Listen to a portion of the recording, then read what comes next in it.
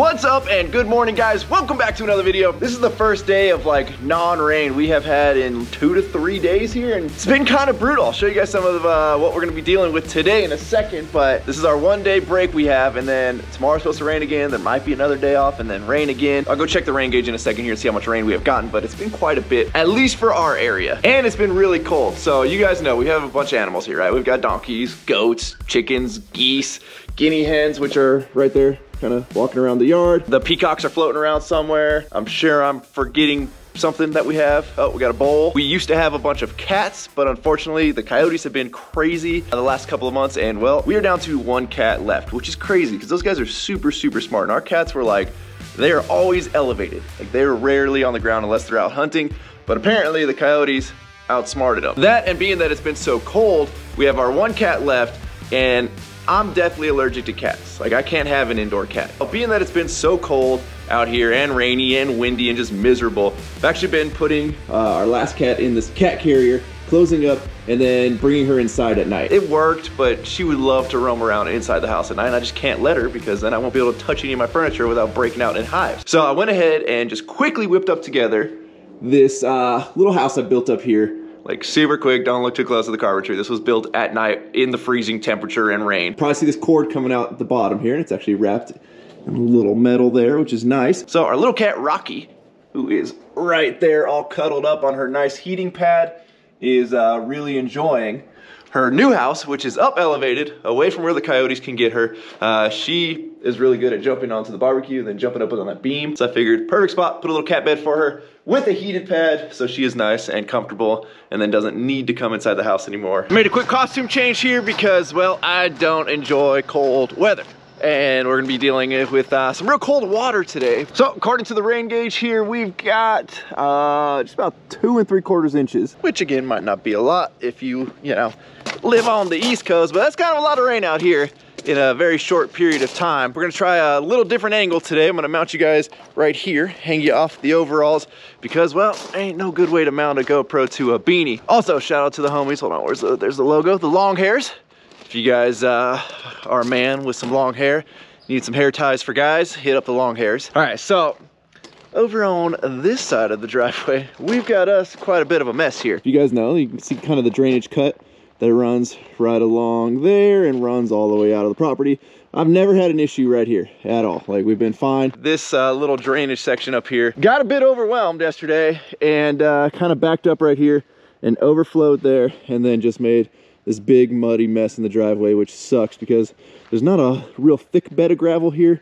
So it's not like I can just grab some gravel over there and spread it over top of this. I always said I was not gonna bring more gravel out for this driveway and waste money. We were just gonna concrete this whole thing. And I was just gonna put band-aids on it the entire time until we were ready for concrete, but it looks like uh, we were pushed back too far on that. So uh, I went ahead yesterday in the pouring rain and just kind of dug this out a little bit more, but you can see what happens is there's like this real fine, silty, sandy layer here.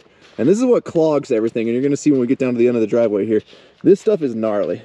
Like, it's almost like quicksand. It's like you can see how much water it holds. Like that looks dry. And then you start kind of playing with it and stepping on a little bit. Then you can get a bunch of water to come to the surface. But it just gets so thick and sludgy that it clogs up everything. we are pretty good up here. I fixed that yesterday, not too worried about it. It's the driveway that we gotta go fix. We'll take the mini truck down to the gate. We'll survey what we're gonna need in terms of tools and materials. Also, this thing is not fun to drive in boots. They, they don't really, they don't really fit down there. Check this out. So this uh, 2x12 here fell. I used to have it propped right here and it's been blocking all these like tumbleweed like things that have come down here. This hose is also helping to act like a filter uh, but it looks like it's kind of making things bypass my, my little rock section here, which this we put in because, uh, well, again, the silty stuff just makes its way all the way down the driveway. And look how much builds up. Like it's, that's thick in there. And then, well, you used to be able to see the inlet of a six inch drain there. What the heck was walking through here? Look at these, look at these little footprints. What do we got there? Huh, we actually do have a uh, giant pack of wild turkeys. I'll show you guys a video in a second uh, that roam this area. They're actually pretty cool.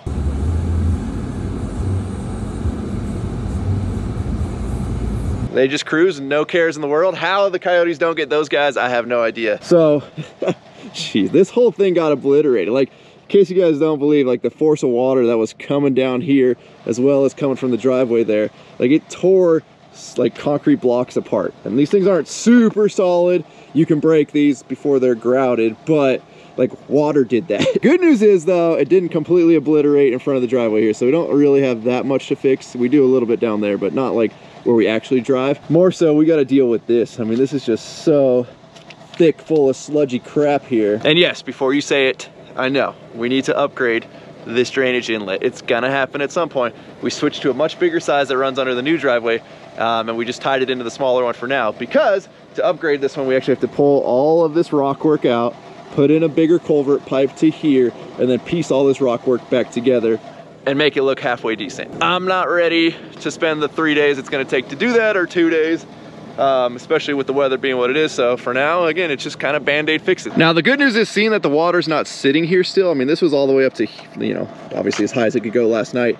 Um, and I tried everything I could to like, and I tried everything I could to unclog that pipe, but I was like, arm deep in this freezing water just wasn't working but again the fact that there's no water in here right now lets me know that there is still some drainage happening there we just have to break up all of all of this crap so i built the Ryno Rooter 2000 uh, a year ago or so, which hooks up to my pressure washer. It has a jetting nozzle on it, and I tie it, I basically zip tied it to a copper pipe and I shove it down in this thing. I'm gonna try to not have to bring the whole pressure washer out here and do that. I'm gonna see if we can just hook up a piece of 10 foot PVC with a just an end on it hook that up to the hose because we have amazing water pressure out here and see if that's gonna be enough to just like liquefy all of that crap there and get it to drain out. And it may just be like me trying to be lazy and uh, we're gonna end up doing it twice, but let's just see what happens. Let's go do a little survey of the guest house backyard project here. Um, we gotta grab some sprinkler fittings out of the guest house garage. Basically, I share that garage with my tenants, just like I need one rack on the side there because I don't currently have a garage at the house. So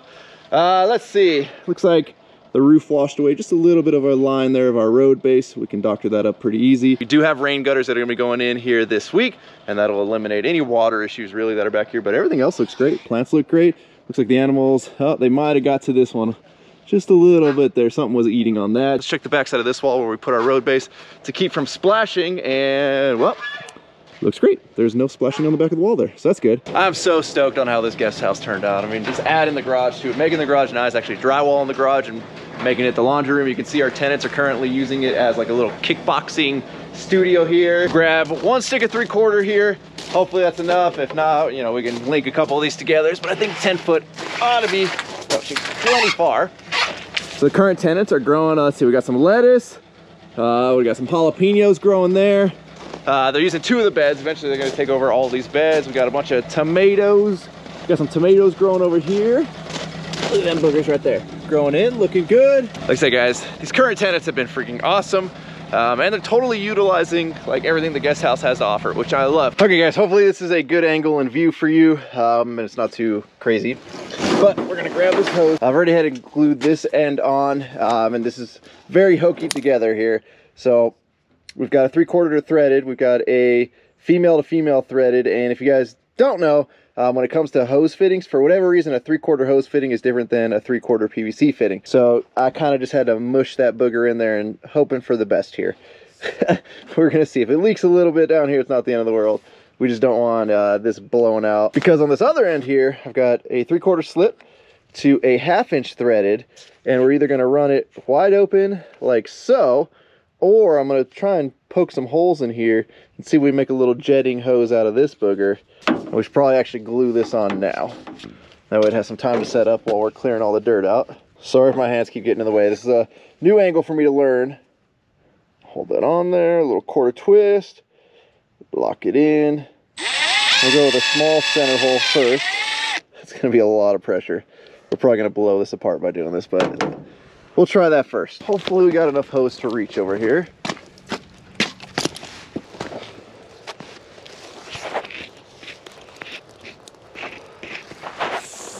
Now I probably shouldn't have mushed these two together just yet. So I can put this uh, shut off in line here. Let's pull these apart. Maybe it's no biggie. All right, here's to hoping that doesn't leak. What could go wrong? Okay, so we're gonna let this glue set up for a second. While we do, we're gonna get down there and clear all of that muck. And then we're also gonna have to kind of rebuild that, but let's get this cleared first. Oh, that stuff is thick right there.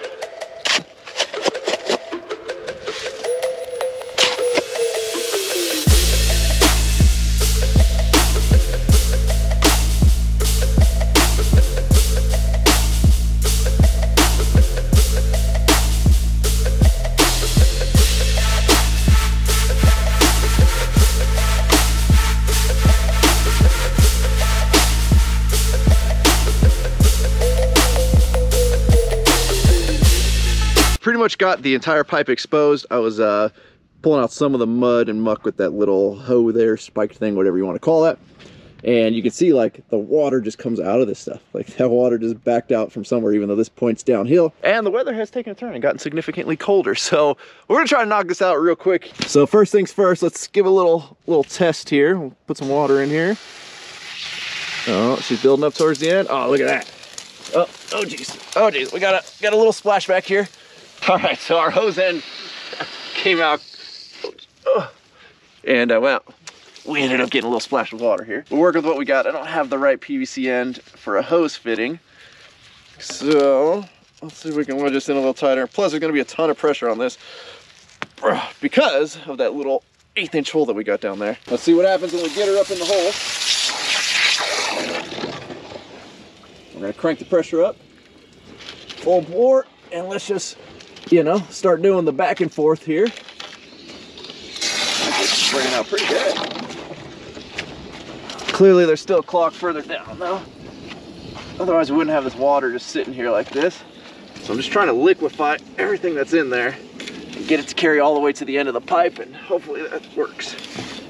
You'll see when it goes. Eventually all this stuff will go. Oh, starting to go, starting to go. We might have pushed a rock in place. Why is that so hard? Oh, there we go.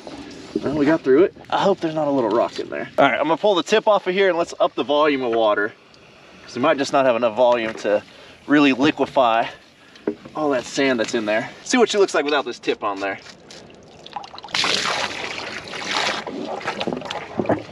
There we go. Now we got a lot of volume of water. Oh, that might have been it, maybe? Maybe not, maybe not. I definitely feel a rock or something right here at this edge. Let's see if we can find it and yank it back.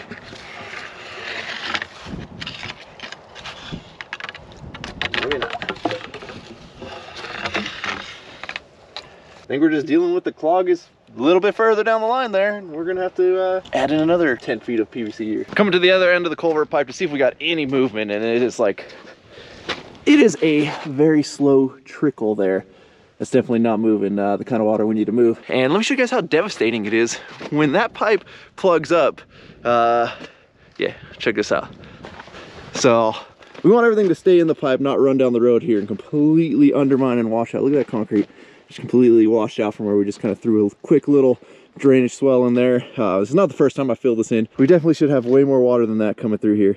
Good news is though, some water is moving. So we're not completely blocked, but let's run back up to the house, grab another 10 foot stick and uh, see if we can get further. I wish I had the right fittings and couplings to uh, just glue on screw ends so I can screw on another 10 foot, slide it in the hole, screw on another 10 foot. Yep, couldn't find the fittings, so we're just gonna splice this together, let all that water come out. Again, one of my favorite tools, the Milwaukee PVC cutter. This thing is freaking awesome. Now we have one ridiculously long piece of pipe here.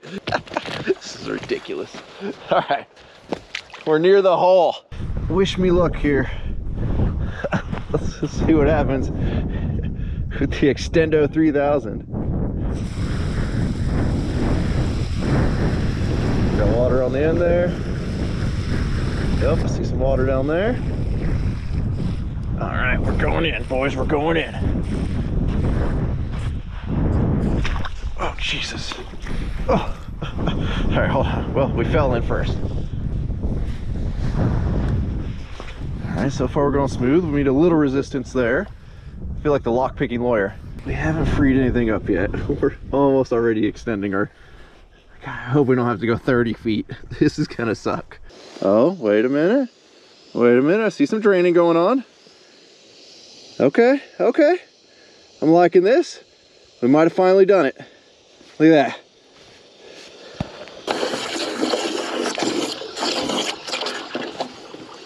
I was hoping we wouldn't uh, reach a clog that I couldn't get out, but there's got to be a rock or something in there.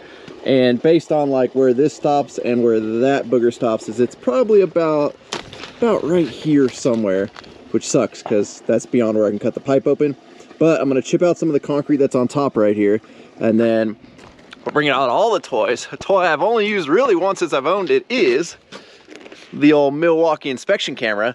So we're gonna shove this thing down in there. I'm gonna break open the top of the pipe as far, you know, to the driveway as I can. And then we'll send this little booger down in there with the camera. And, and hopefully there's not too much concrete on top of here. Oh, well, that's pretty easy to chip away. oh. oh, maybe I spoke too soon. It's just right on the top of the pipe. Probably putting holes in the pipe with this, but here's what it is.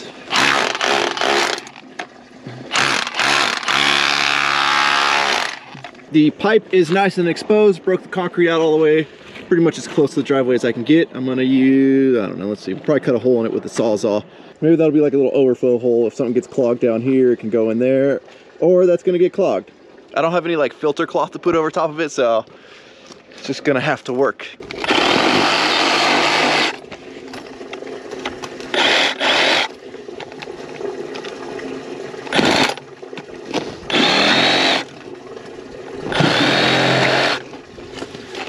All right, well, I can see our PVC pipe down there. Hopefully you guys can see that. So this thing is super cool. You can see it's got an LED light on the end that you can turn on and off, or you can make it brighter or dimmer. Let's make it super bright, because obviously we're going in a dark hole there. It is so dark in there, the light's not even doing anything. There's our pipe, hopefully you guys can see that on camera. All right, so I think I'm quickly learning I'm not a good sewer inspector hopefully you guys can see on the screen there. It's a little tough to see what we're looking at. It's even tough for me not looking at the camera. Yeah, I'm not really sure what's going on in there. But I can definitely tell I'm hitting something. You guys can hear that. The water is definitely up against something. Now you guys can see just how much stuff has come out of the pipe. Look at that. That is, that is deep right there. Um, and water's flowing a lot better now. So that's good. I think we're just gonna have to call that a win for now. Um, there's really not much more I can do without tearing the driveway up. So we're gonna call that good. Now we gotta go scour around the property, try and find some rocks to build some type of thing over there to slow the water down and hold the sediment back. So we're going down way over to this corner of the property. That's where I seem to see most of the rocks exposed and lying around. So we'll go grab what we can. I grabbed a couple of pieces of concrete back there. Go rock picking here. Hopefully the mini truck makes it because some of this area is like, you don't want four wheel drive for going out there. Oh, there's a whole rock valley in there. Ooh, some of those are big though. oh. First, we're gonna go grab this one down here though, because it's on the lower end and we're gonna try to make it back up this hill. This hill doesn't look like much, but in a two wheel drive mini truck, we may or may not make it up this hill, especially considering the truck don't have a whole lot of power.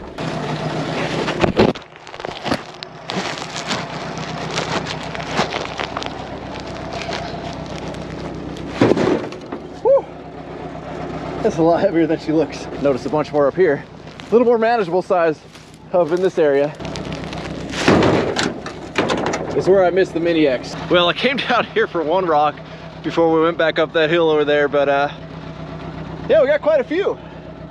The other ones are just too buried to dig out right now by hand, so let's see if we make it up there with an extra few hundred pounds here in the bed. Oh geez, this is gonna be rough.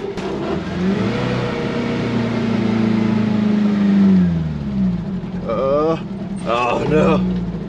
Oh no.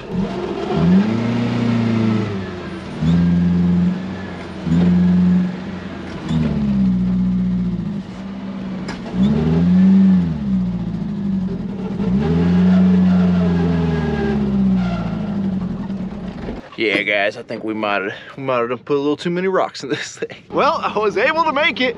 Uh, I know this might not look that steep on camera, but that's significantly steep right there. Uh, I just backed all the way up as far as I could that way, hard charged it around the corner. made it up barely. We stalled out like right there. She ran out of power. I don't know how much more I want to add of these rocks. I don't even know if I can move these. These boogers look big. We might need to bring the dump trailer over here. Some pretty hefty boys in there. Whew. That one's a monster. Ooh, there's some good stuff up in here. I've never walked on this part of the property. This is like Coyote Trail Central. You can see, look, they walk through right here, all the matted down stuff. They go up through there. You can see all perfect little coyote trail or some type of animal trail. There's actually some really good rocks in here. We might be grabbing the Mini X in the uh, dump trailer. I want this monster. Look at that big boy right there. I don't know what we're gonna do with that. Okay, so we've made it back to the gate here with these monsters. I'm gonna try to not break a foot here.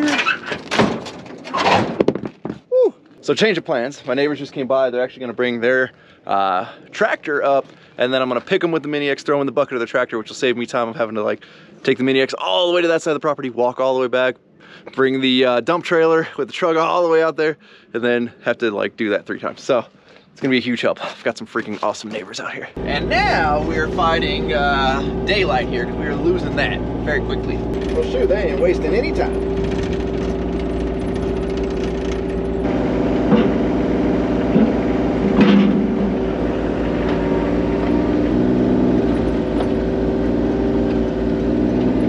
leave that one for the next lap. That's a little big. Is there room? Not really. We'll get some of these little ones in here.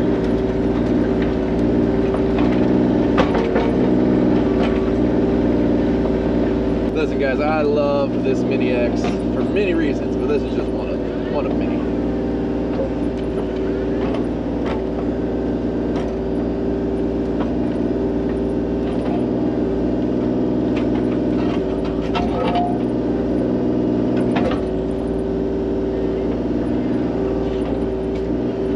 these freaking rocks out here like icebergs. I would see little tips and be like, oh, that's cool. That's a nice little one. And like, they're all just monsters coming out of the ground. Which is cool. These are like great landscaping boulders. A little bit bigger than what I need. So I'm trying to find smaller ones. We're just gonna have to take a bunch of big stuff though and like try to sprinkle some smaller stuff in between.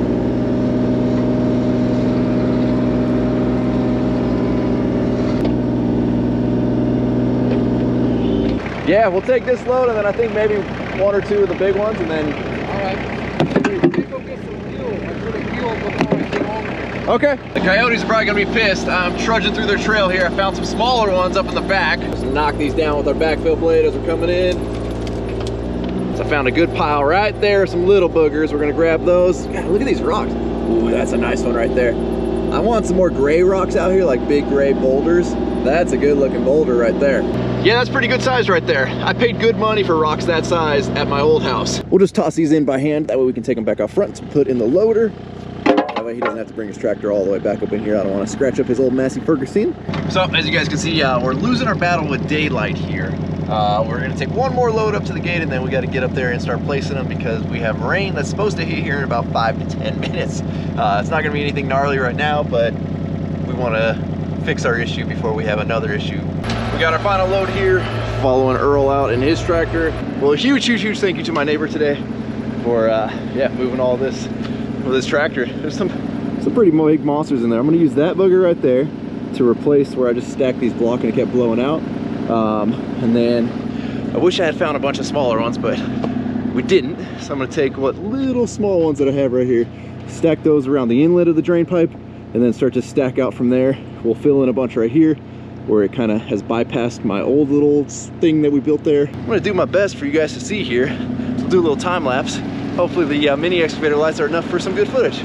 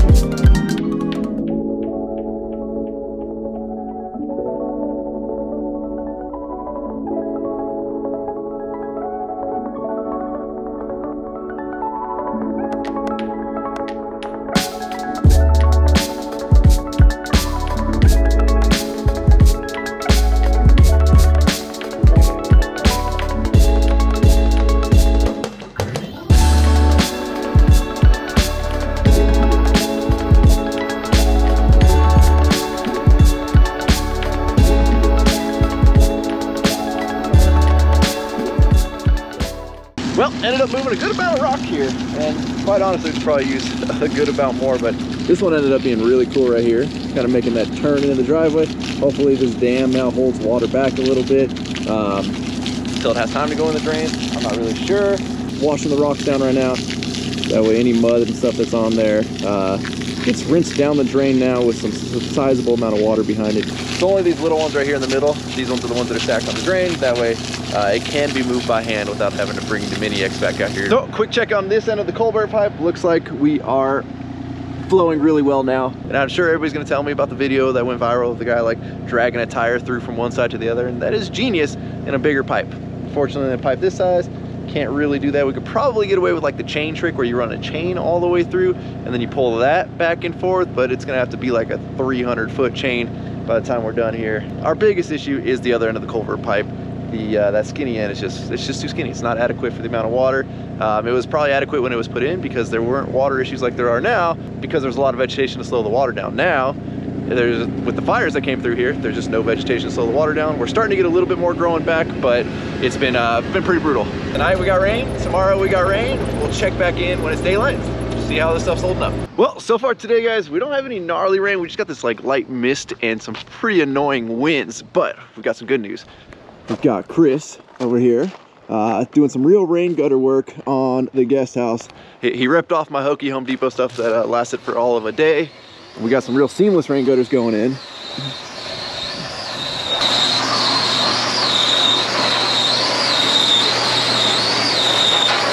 You need another stand over there?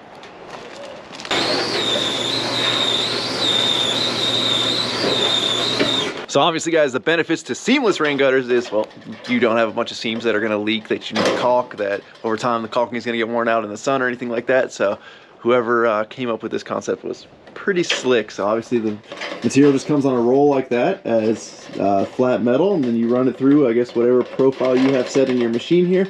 And as much material as you have on that roll is, I guess, how long of a piece you can make. Uh, this one is 47 foot, eight and a half inches or eight inches. That's a big piece. That's gonna do that whole side in one run versus trying to piece together a bunch of 10 foot sticks like the good old days. That was gonna be my next question. So you've done 80 feet? Yeah. Jeez, what's your company? I mean, thank you for Uh, answering my call and coming out here to help me out here. Yeah, so it's California Roofing Contractors. Awesome. We're based out of Chula Vista. There you go. All right, so if any of you guys need seamless rain gutters or roofing, right? You guys do Yeah. roofing too? I do uh, sheet metal roofing. Shoot metal roofing? Okay, there you go. Ooh, well, I got some more stuff for you then on that too. Make sure you guys hit up Chris. Chris came out. I mean, it's a cold, windy, rainy day. Nobody wants to be working outside today, but these boys are out here cranking away, getting the gutters down on the roof for me. They told me they'd be out here today. Uh, we didn't know the weather was gonna be like this, but they actually still showed up, which I very much appreciate and value. Yeah, it's actually not bad. I thought it was gonna be way more flimsy.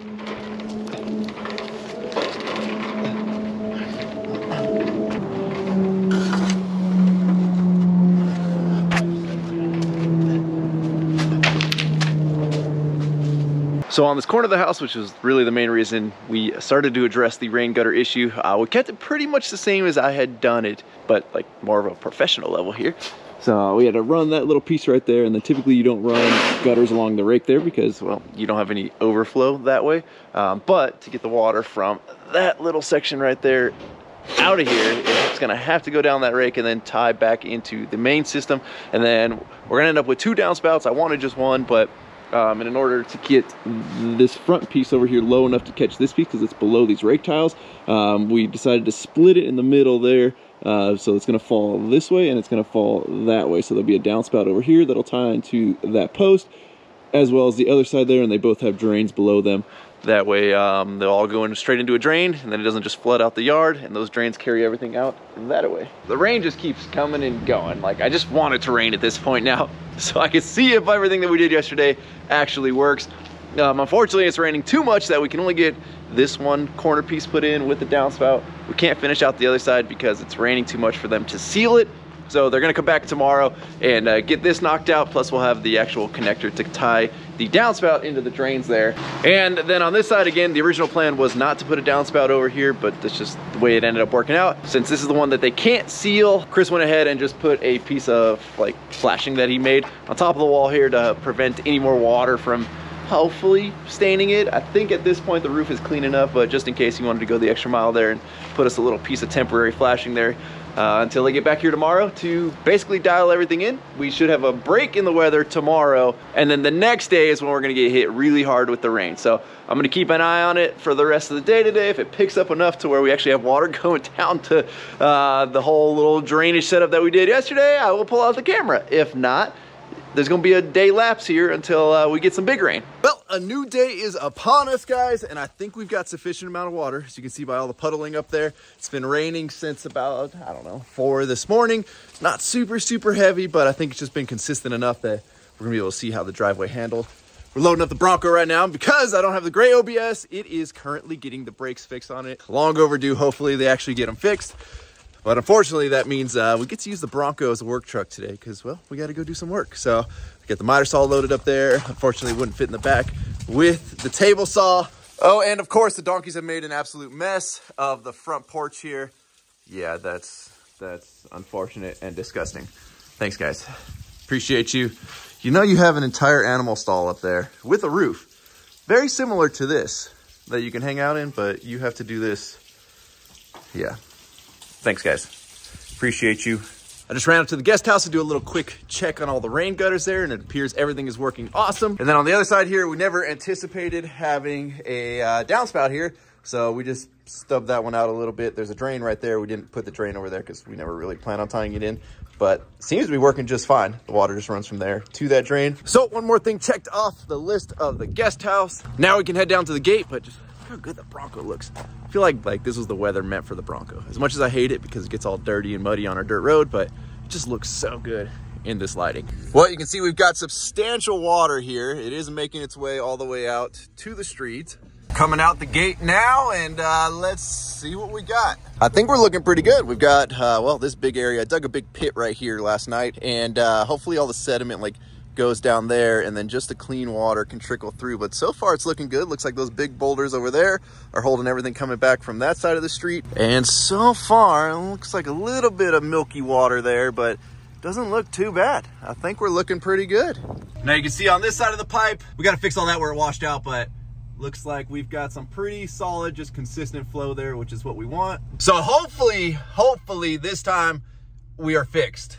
Um, at least to hold us over until we again upgrade the size of that pipe. Road's starting to get a little soupy there in the middle. I know it's not gonna look bad at all on camera.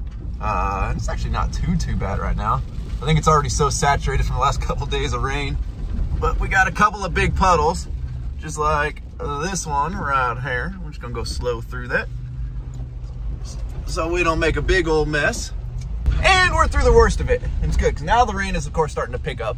But I think uh, we're to call it a wrap for this video. So as always, thank you guys so much for watching. If you're not subscribed already, please click the subscribe button now that we do not miss out on any future content. Don't forget to give this video a like, get a thumbs up. Don't forget to check out workforitapparel.com because if there's anything you want in this life, you got to be willing to work for it. You guys are the best. I'm out. Damn. Uh. Yeah. Uh. Yeah. Uh.